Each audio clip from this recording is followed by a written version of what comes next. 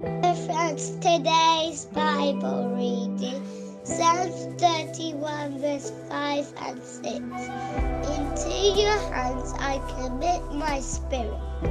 You have redeemed me, O Lord God of truth. I have hated those who regard useless idols, but I trust in the Lord. Please remember to like and subscribe for more Bible adventure. Thank you. God bless you. Bye.